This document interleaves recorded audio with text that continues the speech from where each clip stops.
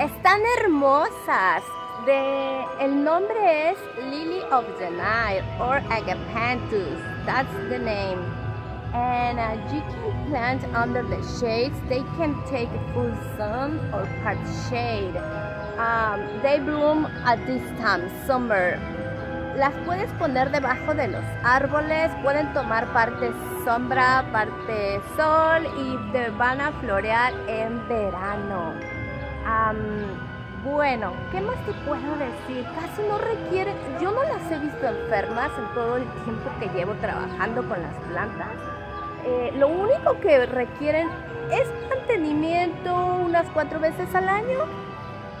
Les voy a enseñar. Si ven aquí todo esto que se va secando, solo se lo jalan y ya. ¿Ok? Ahí. Solo y cuando ya esta, esta flor te va a durar bastante. De, it's gonna last, I don't know, like probably 15 days or, more. So, solo lo cortas hasta abajo cuando ya deja de, cuando ya tira todo, pero déjala, déjala que ella se termine su ciclo y entonces la recortas. La limpias y nada más. Y aquí las tenemos. Agapanthus or Lily of the Nile.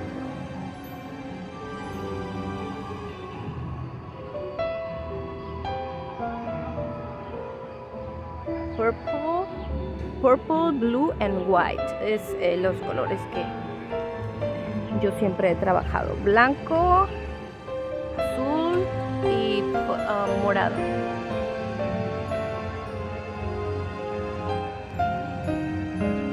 Que tengan un bello día. Bye bye. Have a wonderful day. See you next time.